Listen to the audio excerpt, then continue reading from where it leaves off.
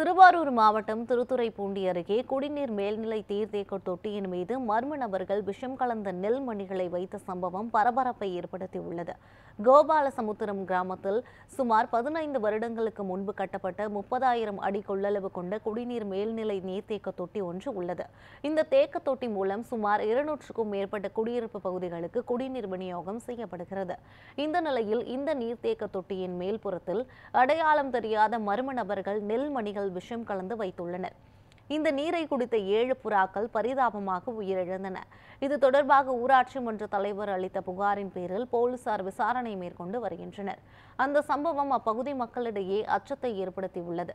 கடந்த ஆண்டும் இதே குடிநீர் மேல்நிலை நீர்த்தேக்க தொட்டியில் பறவைகளின் எச்சங்கள் குடிநீரில் கலந்து சர்ச்சைக்குள்ளானது குறிப்பிடத்தக்கது.